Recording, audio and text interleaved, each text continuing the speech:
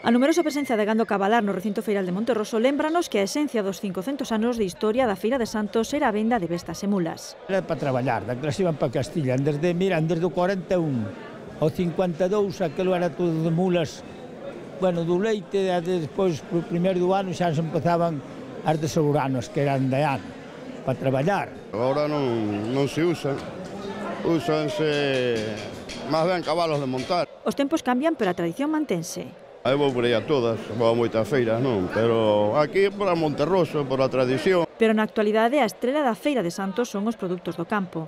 E estando en Monterroso non podían faltar os queixos da Ulloa. Os que se venden aquí están elaborados artesanalmente. A feito chamado, como sempre, é mellor que os outros, porque é máis sano. Sí, mire, que diferencia entre estes queixos e estes que están usted aí? Depende da talla.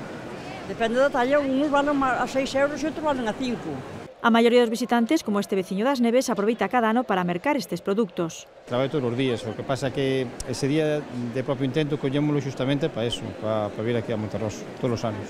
Sen embargo, para algúns, como esta estadounidense, todo é sorprendente. E este que parte A lengua. A lengua. Fantástico, hai de todo. Eh, e, e nunca he visto en la vida un, un cabezo de cerdo así e que na Fira de Santos tamén podemos atopar todos os produtos derivados do porco. Vimos traer o que nos sobra cada ano, na máis por esta feira.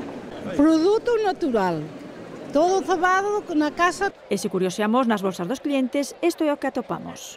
Castañas, chourizos e... Eixos máis chourizos, inoces. Se non che gustan a cousa, gusta xa outra. A cita tamén é unha boa ocasión para que moitos emigrados en Barcelona e Bilbao volvan á súa terra. Esta feira para mí é moi importante, porque tens moito onde comprar, tens moitos produtos da terra, entonces me gusta. Solen vir moita xente de Bilbao do propio entendo por día da feira, Suelen dicir, vamos á feira de todos os santos a Monterroso. Pero nesta feira podemos atopar de todo. De feito, este ano case se duplicou o número de postos instalados nas rúas da vila.